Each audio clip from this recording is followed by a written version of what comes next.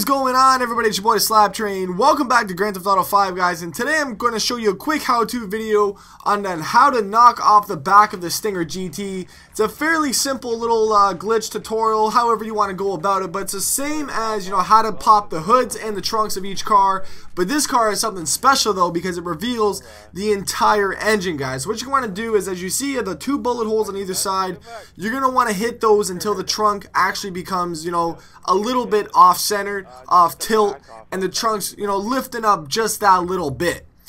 Now, next part, and it's honestly the simplest thing, but it's yet the hardest thing to do.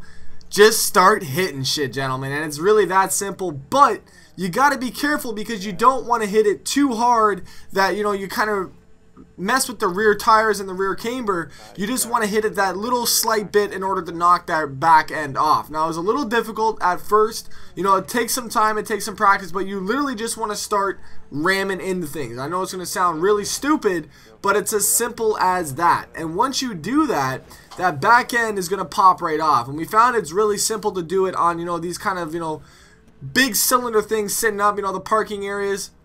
You hit those once, twice, maybe three, four, five, however many times it needs to be done, and boom, gentlemen, there it goes. It's off, and it reveals the beautiful, beautiful engine on this thing. I think this is a, uh, what is this, a V8? I think that's a V8 in that thing, just bumping. Look at those two damn, oh my god, yo, that exhaust is ridiculous right now. But yeah, I mean, it's, it'll make for some crazy videos. You can see, oh my, you can see everything on this damn thing. It's absolutely ridiculous. And that's about it, gentlemen. Stinger GT completely rear back list. I don't even know what you want to call it. Trunkless, whatever. But yeah, I mean, this will make for some crazy photo shoots, some crazy damn videos. But I hope you guys did enjoy this. Make sure you guys leave your appreciation by slapping that like button, gentlemen. Always lets me know you guys enjoy the videos. And as always, guys, thank you guys very much for watching. It's your boy, the Slap Train.